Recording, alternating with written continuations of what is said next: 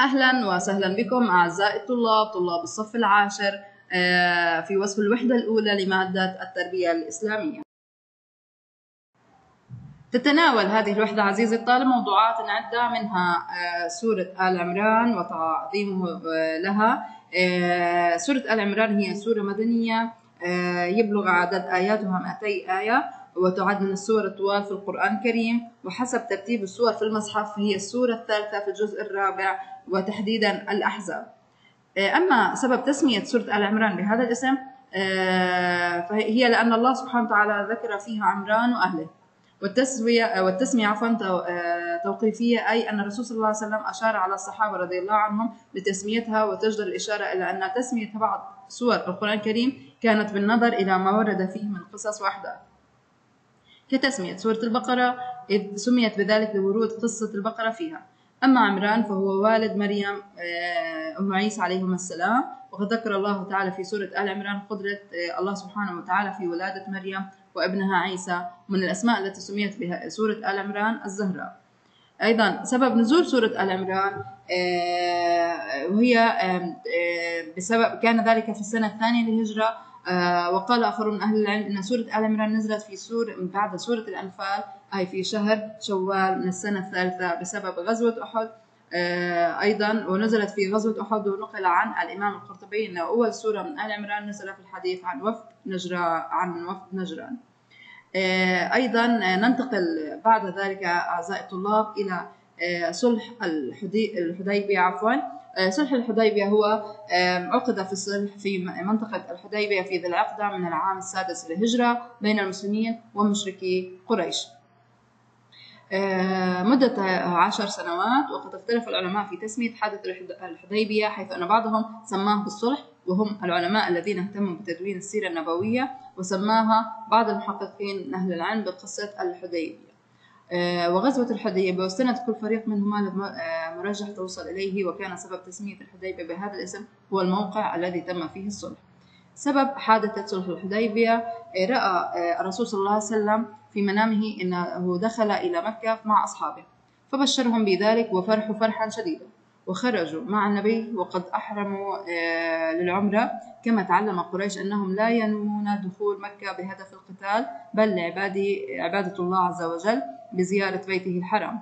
فخرجوا جميعا بلا سيوف ولا سلاح.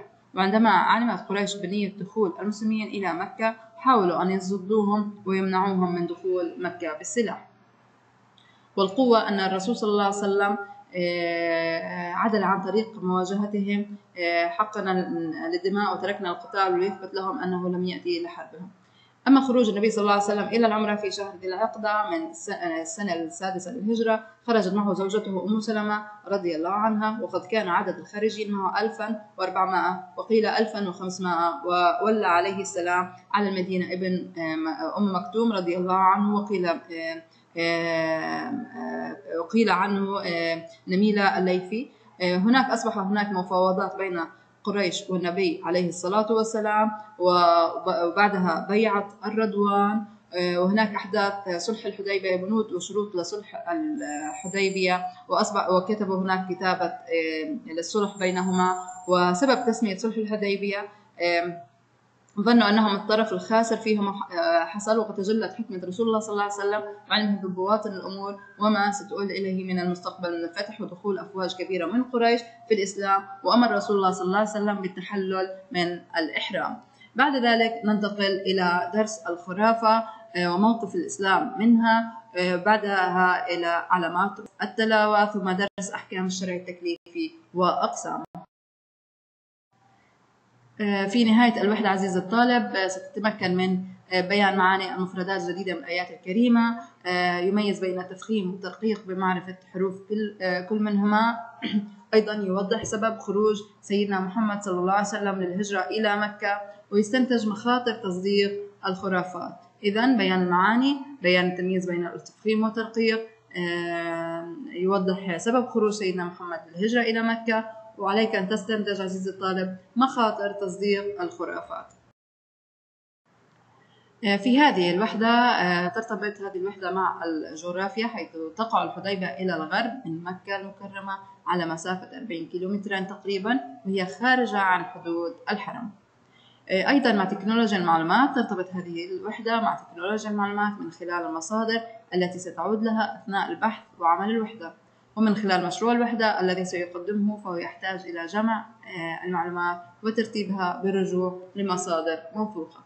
إذا هي مرتبطة مع الجغرافيا لأنها تقع الحديبية إلى الغرب من مكة المكرمة على مسافة 40 كيلومترا تقريبا آه، وهي خارجة عن حدود الحرم.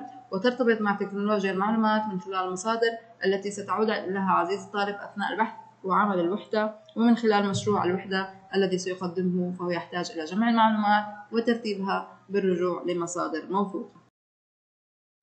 آه، بعد آه، توضيح الدروس وشرحها والقيام بحل أسئلة الدروس آه، يقوم الطالب بعد مشروع بعمل مشروع الوحدة وهو أساسا على المهارات البحثية. سيستخدم المهارات التكنولوجية في تصميم مشروعه القائم على عرض درس الخرافة. في عمل جماعي هتوكل كل مجموعة مهمة تتعلق بتوضيح مفهوم الخرافة وموقف الإسلام منها في عرض تقديمي. وأن يكون العرض عزيز الطالب في حدود الخمس دقائق متحدثا باللغة الفصيحة وأن يكون عدد أفراد المجموعة ثلاثة فأقل ومصادر آه، تعينك في إعداد المشروع. إذا تقوم باستخدام مهارات التكنولوجيا في تصميم مشروع آه، وهو عرض آه، تقديمي في عمل جماعي وهو عن درس الخرافة ويوكل كل مجموعة مهمات تتعلق بتوضيح المفهوم وموقف الإسلام منها تقوم هذه الوحدة عزيز الطالب على امتلاك العقلية الدولية المنفتحة بمناقشة قضايا تتشارك فيها الصور الإنسانية صور العناية بالمقدسات الإسلامية ومناقشة ثقافات مختلفة ضمن تعدد بيئات العمل الموحد. يمتلك الطالب في نهاية هذه الوحدة قيما عالمية مثل الهدوء التحدي والاكتشاف. وعليك تقيم فهمك لموضوعات الوحدة بكتابة فقرة تتضمن الإجابة عن الأسئلة.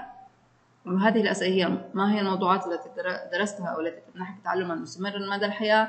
ماذا تحب أن تضيف للوحدة من وجهة نظرك؟ آه، لو أعددت تخطيطا آه، لوحدتك ماذا تضيف؟ وماذا تحذف عليك أن تبرز وجهة نظرك في هذه الوحدة. وكما قلنا آه، الوحدة تتحدث عن عدة موضوعات منها سورة آل عمران وصلح الحديبية وعلامات الوقف ودرس الخرافة وما المقصود بالخرافة. أما آه، سورة آل عمران وهي كما قلنا هي آه، سورة مدنية يبلغ عددها آياتها 200 آية وتعد من السور الطوال في القرآن الكريم. وحسب آه، ترتيب السور في المصحف فهي السورة الثالثة في الجزء الرابع وتحديدا الأحزاب. السابع والثامن والتاسع. أما من حيث ترتيب النزول فقد نزلت بعد نزول سورة الأنفال وتبدأ السورة بالحروف المقطعة آه، ألف لام ميم. وسبب التسمية آه، لأن الله سبحانه وتعالى ذكر فيها عمران وأهله والتسمية توقيفية أي أن الرسول صلى الله عليه وسلم أشار على الصحابة بتسميتها وتوجه الإشارة إلى أن تسمية بعض السور القرآن كانت بالنظر إلى ما ورد فيها من قصص وأحداث كتسمية آه، سورة البقرة إذ سميت بذلك لورود قصة البقرة فيها. شاكرة لكم أعزائي الطلاب حسن استماعكم وتعاونكم.